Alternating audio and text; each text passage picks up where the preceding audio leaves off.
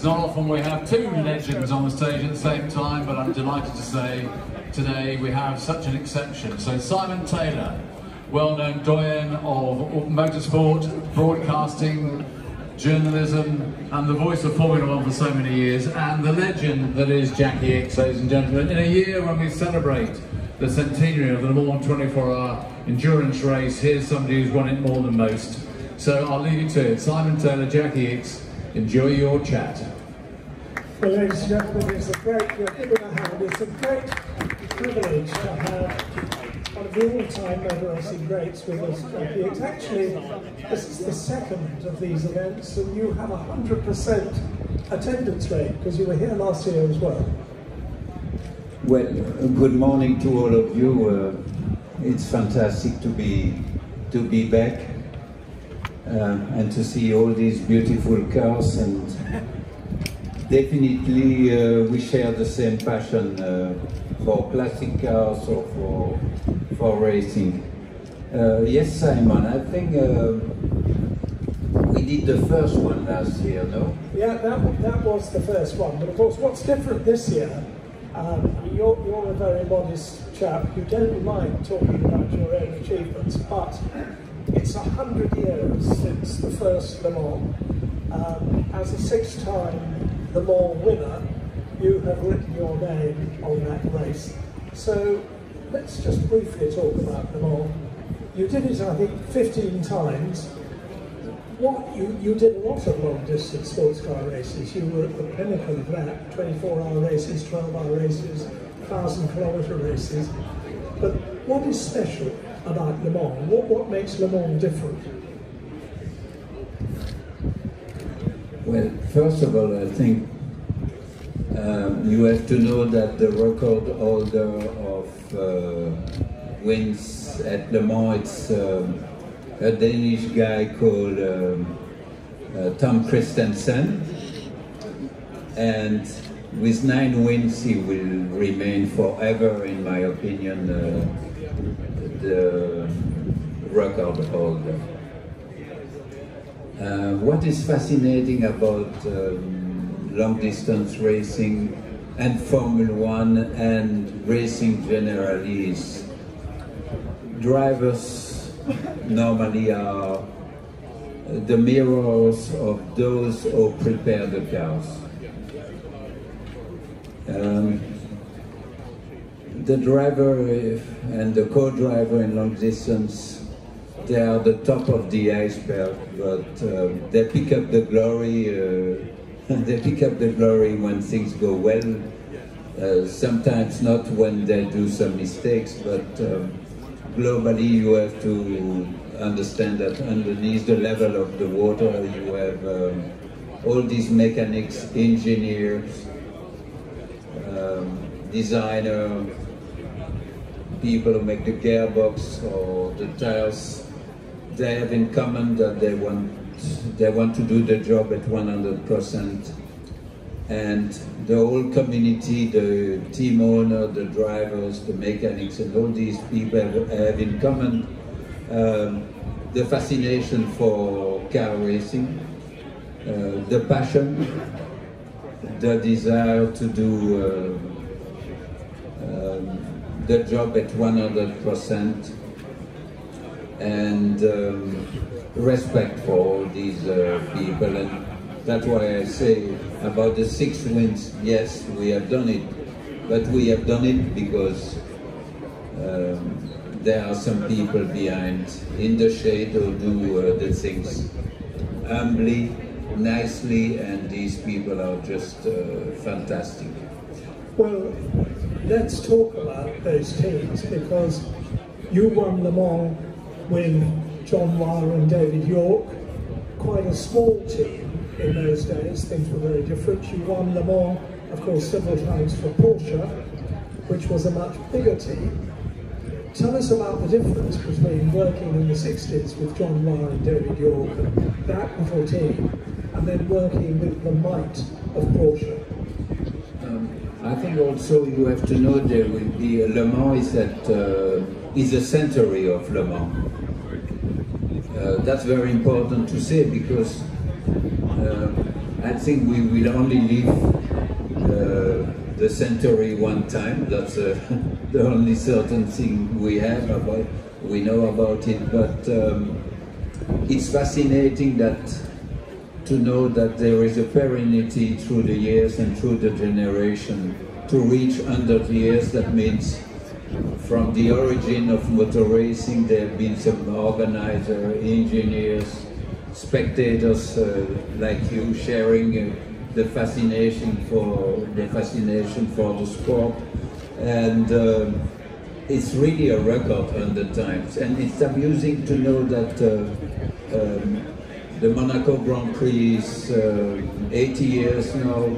Uh, the Mille Miglia uh, started 1927, Spa, Francorchamps 1922. There are still some races existing after all these years. Of course, um, you mentioned John Wyer and David Yorke because I've, I must admit I had a very friendly relation with David Yorke. Um,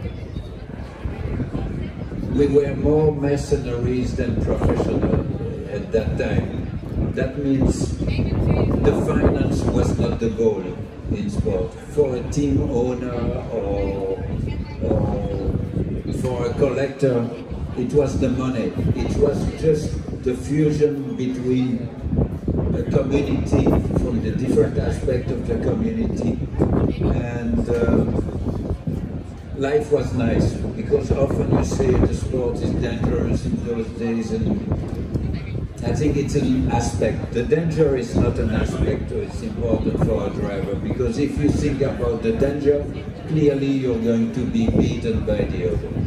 Uh, to do some risky job, it's, it's, it's a freedom. It's a human freedom. So that's the most important thing to remember. Also in those years, uh, when I say things were definitely more amateurs, but when I speak about the end of the 60s, 70s, uh, Jim Clark was doing some races with the Cortina Lotus, uh, Brabham was racing with a Mustang, Jack Sears, a, a Galaxie, Roy Salvadori was a Formula One driver, uh, was there too uh, with Aston Martin. So the philosophy is another type of, of life. Well, you, you, were prepared, you were prepared to, even when you were in Formula One, you were also doing Formula Two, you were also doing sports cars, you were also doing touring cars. Uh, there wasn't the single single focus of Formula One as there is now. And I'm sure you enjoyed all the different challenges of doing the different types of racing at the same time. Uh, I just said this morning when I explained mercenaries, the main goal was to drive, whatever the car was. Just as a, an example to give you an idea how far away we are from the business in the sport at the time, um, it reminds me when I drove for Tyrrell, for example, who was clearly the man who changed me my life because he picked me up when I was doing some saloon car racing and he put me into a single seater. Um, starting fee for Formula 3, 50 pounds sterling. I know the value of the pounds was higher than today, but uh, still, it's a minimum. Formula 2, 100 pounds sterling. And we were all very happy. We didn't suffer at all. We had a good time.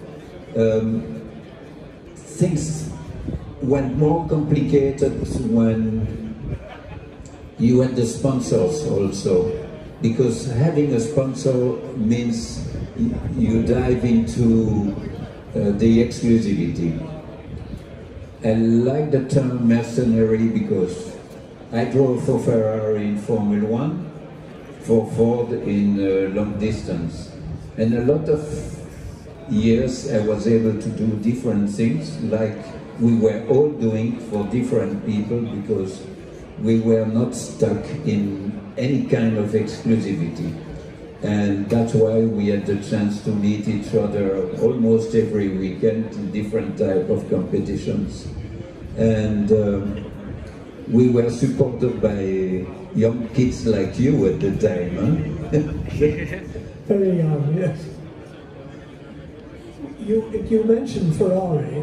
Um, I mean, one of the things that fascinates me about your great period of racing is the individuals. You mentioned Ken Tyrrell, an extraordinary, powerful character, even though he was racing from a humble woodyard.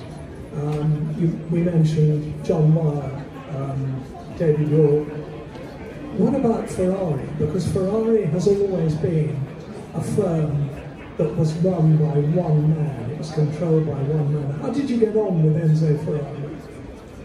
Well, I read uh, I read often many comments on Enzo Ferrari by other drivers, and they always said he's a fantastic man, but there was always a but at the end. Uh, frankly, as far as I'm concerned, I never felt any pressure from him. I never felt uh, uh, not served as well as my companion in the team. And frankly also, I think I've been treated uh, very well, maybe I could say like a son in a way. And of course, the goal was to win, whatever the driver was.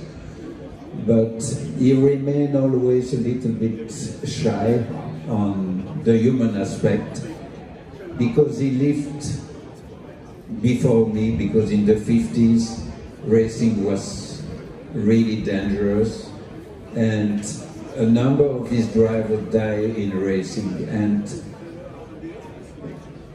I really think he wanted to avoid to be too close to uh, the drivers because simply it was uh, too painful for him. And um, so it shows a different type of tenderness. He had some tenderness. He was not the man you say cutting like a knife, no. It was someone who loved to uh, who loved to be uh, the best, like the drivers are. And the only problem you have one first at the time, so you have all the others are frustrated. But at the same time, the same at the same time, Porsche, for example, one year apart, um, they have the same sort of story. Porsche Ferrari, one year apart was born, one 1947, the other one 1948. So um, they are both iconic uh, cars today, as many other brands, of course, that you can so align here, because uh, here is the pleasure, it's the pleasure of the eyes for those who love motor racing, and that's why you are, you are there. Another thing about uh, endurance racing, which was such a, such a speciality of yours, um, you have to race with the co-driver, you have to work with another driver. And we obviously can always mention Derek Bell because he was a great British um, endurance racer. But if you're racing with the pressure of doing a race like Le Mans, and you have to share the driving with another man, presumably the relationship between the two of you has to be friendly, has to work. Uh, first of all, we're both still alive, so it's a, a privilege. At the moment you asked the question, I was thinking to win races in long distance, you have to be at least two. And clearly Derek Bell, your that lovely, lovely friend, co-driver, professional, or Brian Redman, or Jochen Mass, or Mario Andretti, for example, um, Jackie Oliver that we won the Le Mans 69 together. They play um, they play a key role in into long distance. Although I have to say it was called endurance racing because in those days you never knew if building a new car or building a, uh, an Aston Martin or a GT40 or a Ferrari, you never knew if the car was going to end the race because you don't have the sophistication of uh, the test bench and all these things you have today. Um, long distance today, and Le Mans particularly, and all the 12 hours of Sebring or Daytona, um, today it's a Formula One race. It's flat out because you know the car will do the distance for sure. So that's why they need uh, three drivers today. Uh, to make you smile, yes, I can say that, uh, to give you an example, the long straight at Le Mans at uh, 340 kilometers per hour or more than 200 miles anyhow. It's relaxing, it's the place where you uh, can relax. Yes, and you can even see the people having uh, lunch at uh, in the restaurant in the, the long street. You cannot, you don't know what they're eating, but you know if your friends are there or not. Um, now, we said earlier that you love to race Formula One, Formula Two, saloons, um, sports cars. Can-Am, Can-Am, of course, you won the Can-Am Championship. Don't let's forget that. Paris Dakar. Well, I'm going to come to that. Because This is something that you've done later on in real life, an extraordinary achievement, and you won it for Mercedes, I think, in the second for Porsche. And that is a completely different type of, uh, of competition. Well, if it stays between us, or it may be complicated, I think the best part of my life, it's maybe the third one, the Paris-Dakar. It was fantastic to do all the things before uh, stage one, stage two. I say that because clearly when I was on um, long distance Formula One and whatever, the goal was to win. And when you're focusing on only the win, you have a, li a limited uh, angle of vision on what is around you. So uh, I would call that probably monorail. In the Paris-Dakar, you have a fantastic race. Okay, the hardest one probably in racing. Three weeks, uh, 12,000, 14,000 kilometers of off-road racing. Um, you cannot cheat. You have to land back on the planet.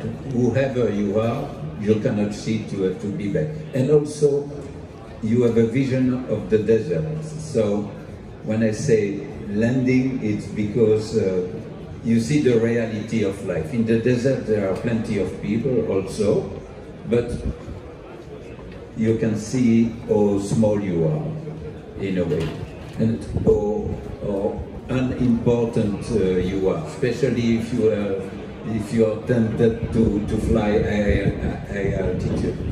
But much more than that, the second part of that, you have the chance to discover another continent with other people, other type of life, uh, facing different challenges.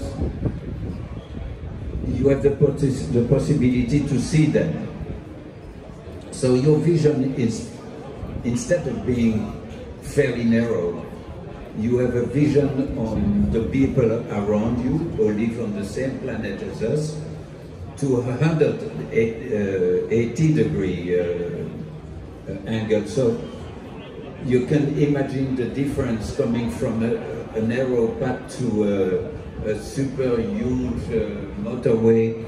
Um, I think intellectually it's uh, it's a huge progress.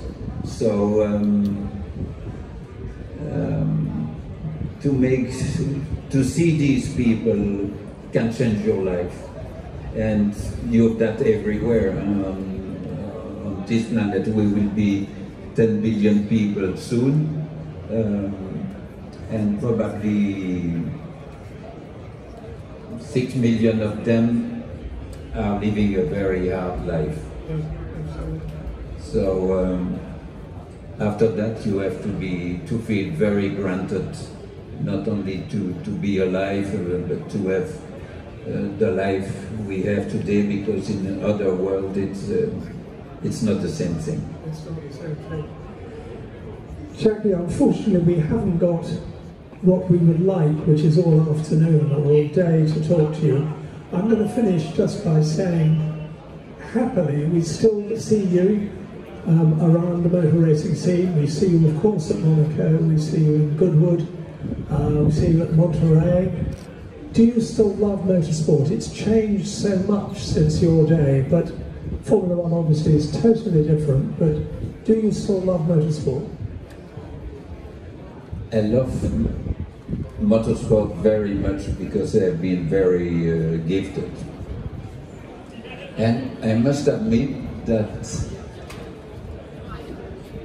I think today I have a lot of duties to the people uh, I didn't see before, but I love the public who makes racing, uh, even if they don't share for me at the time. Huh? I love the idea of having the same other people like you all around, um, having the fascination for Goodwood, for Lord March, uh, um, for the organizer, because without you and without your passion, or common passion, there is no racing possible, and not even savvy because if the street is empty, it's not the case, the case, it's full of people, yes, the mobility, the cars, the names, the great names in, in racing, the great names um, make all that possible. So thank you, thanks to you to have, to have come. It's a wonderful to Jacky Ickx, ladies and gentlemen.